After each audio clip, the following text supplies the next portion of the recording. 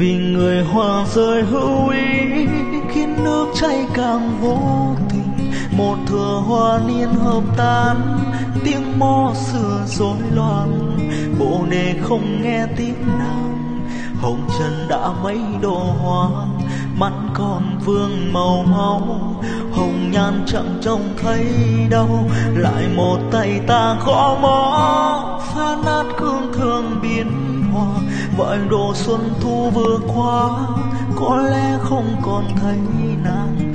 Hòa phật trong kiếp này.